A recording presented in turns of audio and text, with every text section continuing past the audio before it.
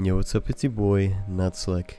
Prank Invasion obviously didn't do anything wrong. Now, for those of you who aren't in the know, Prank Invasion did a video in which he gave his sister the little tongue shuffle, and he didn't hold back either. He went straight up in there, and it was such a shock for many people. Even Ethan Klein from H3H3 had something to say about it, which is ironic considering he fucked and married his own sister.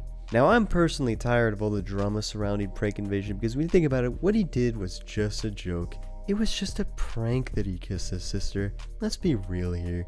And to be completely honest, it wasn't as disturbing as one of the other videos he made. I grope and fondle my mother. Now you might look at Prank Invasion and think, damn, he just has a really weird sense of what's entertaining and what passes for good content on YouTube. But then you look ahead at someone like Ethan Klein and look at one of his recent Twitter posts where he makes a post about walking inside a suicide prevention center and telling them that their lives don't matter and then you just start to wonder who has the worst sense of humor. You can hate on Prank Invasion all you want, but at least he didn't marry his sister, unlike Ethan Klein. But listen very close, Prank Invasion. Now, I'm not gonna sugarcoat it here, Prank Invasion. I did think that one video where you kissed the mothers and the fans on the lips themselves was definitely really creepy, especially when there was little girls involved that you just don't happen to smooch themselves for some easy views. But if you want to make some real content, let someone else kiss your sister like me. Or better yet, let me plow your sister. That would be the funniest prank ever. Oh man, that would really get them, don't you think? You in the corner just cheering us on? Yeah, that would be such a good prank, man. It would be so funny while I'm raw dogging your whore of a sister. Damn right. That would be the ultimate prank. And then you could just come out of the closet and say, Got him. you have no other choice but to let this happen, prank invasion. Just think about it. After all the negative press you've been getting, all the dislikes, this is the only way we can bring your channel back, and I'm willing to help.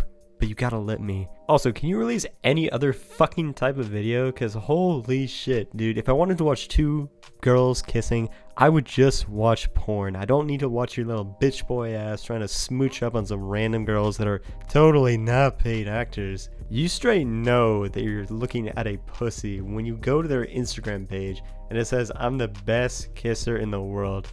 Like, are you fucking kidding me? That is the cringiest shit ever. You're not even following anyone. Like, come on, dude.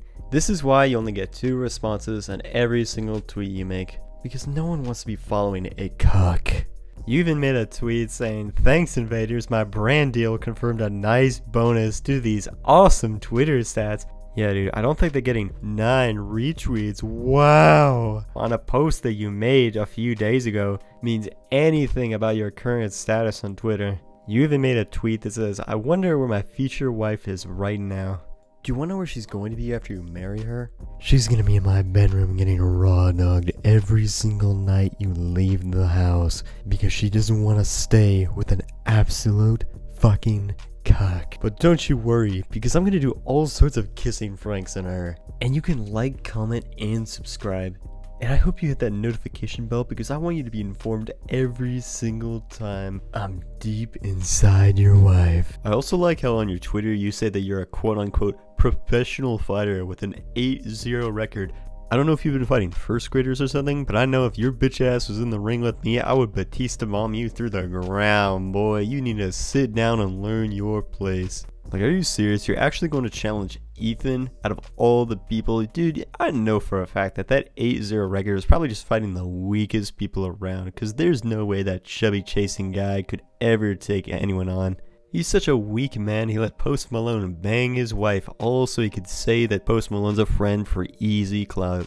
Think about that for a moment. But someday, when I'm doing a kissing prank on your wife, and you try to stop me, I'm gonna grab you by your noodle ass neck until you sit in the corner like the little bitch you are. And I have one other question actually. Why the fuck did you make a video about kissing high school students? Let me check how old you are.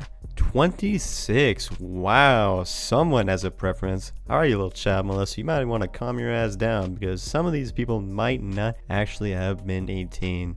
But if you ever want to turn your life around, then just follow my advice. Stop being such a bitch boy for one. Secondly, you need to start making original content that'll actually make people laugh. I'm saying some real pranks, like having you walk in on me plowing your future wife. That would be a real prank. And finally, stop kissing your sister. because that's my job. Anyways, this has been your boy, Not Slick. Thank you for watching. Hopefully, Prank Invasion gets the idea, and I'll see you guys in the next episode. The outro is coming in three, two, one.